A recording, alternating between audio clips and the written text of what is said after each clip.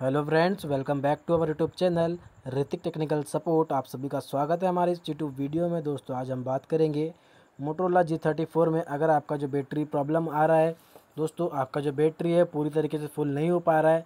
दोस्तों तो आपको बैटरी से इस, बैटरी से रिलेटेड अगर आपको कोई भी इशू आ रहा है तो दोस्तों, आज आप इस वीडियो के द्वारा जानेंगे कि उसे कैसे ठीक कर सकते हैं। तो दोस्तों, वीडियो स्टार्ट करते हैं। वीडियो स्टार्ट करने से पहले अगर आपने अभी तक हमारे चैनल को सब्सक्राइब नहीं किया तो चैनल को सब्सक्राइब कर ले और बेल आइकन को ऑल पर सेट कर ले। तो दोस्तों, सबसे पहले अपने फ़ोन की सेटिंग्स को ओपन कर लेना है। ओपन करने के बाद आपको कुछ इस तरीके से इंटरफेस ओपन हो जाएगा।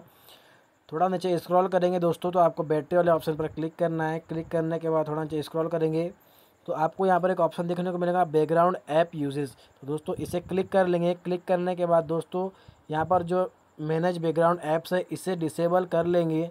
दोस्तों, आपका जो बैटरी है वो आपका जो जो भी इशू आ रहा है बैटरी को रिलेटेड दोस्तों, वो पूरी तरीके से ठीक हो जाएगा। अगर दोस्तों वीडियो अच्छी लगी तो वीडियो को लाइक करें और हमारे चैनल सब्सक्राइब करना ना भूलें।